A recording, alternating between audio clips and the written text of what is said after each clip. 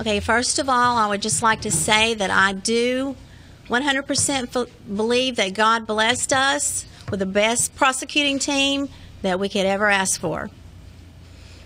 The right decision was made by the jury on the guilty verdict on all counts. We have been through six and a half long, hard years, and I would like to thank all the people who have walked every step of the way with us. Finally, after six and a half years, I do feel that we got justice for our daughter. Thank you. Can you just talk about why it was important for you to take the stand today? My daughter, of course, is not here to speak for herself. So today, I am her voice, and I wanted people to know there's more to this. It was not just a girl that was lost um, in someone's lives. This affected many, many people. On April 13th, 2011, we lost our innocence. Decatur County lost its innocence. People that had never locked their doors before started locking their doors, as they should.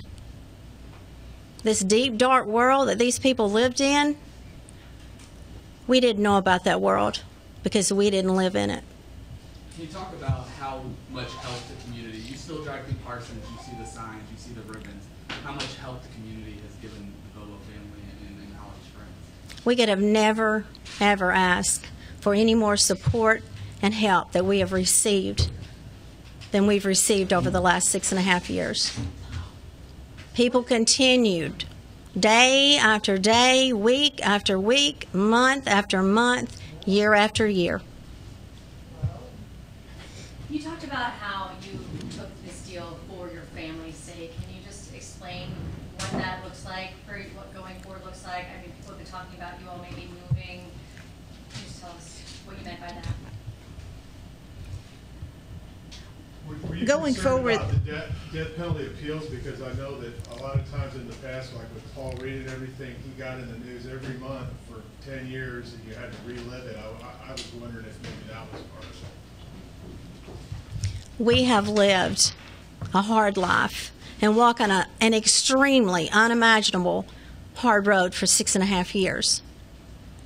So I did consider that in our decision for the future in hopes that maybe we can start to rebuild what life we have left. And if there is any joy to be found in life anymore, that we can start finding it. What was last night like for you all after the, the guilty verdict and, and they came back? What was last night like for you all? I don't really. Right now, today, I'm really not even sure um, what to expect because we didn't realize what families went through, had no idea, and so I, I, just don't think anyone can possibly even begin to understand what you go through.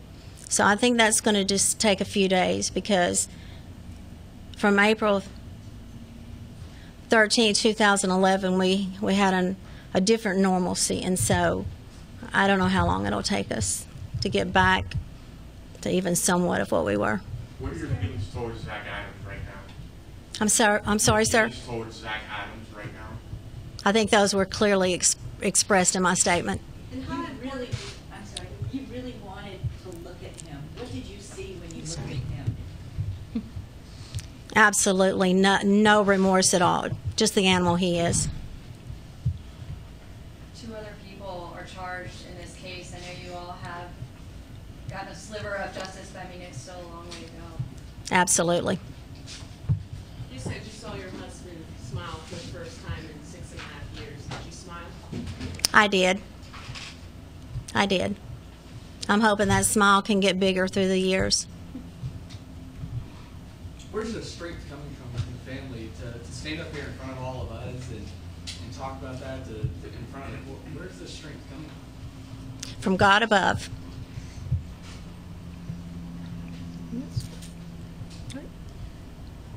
If there's nothing else. Thank you. Okay, thank you.